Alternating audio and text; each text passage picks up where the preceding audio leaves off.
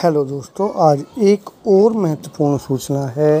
CBSE board ने दसवीं की सप्लीमेंट्री का संपूर्ण रिज़ल्ट भी आज आउट कर दिया है।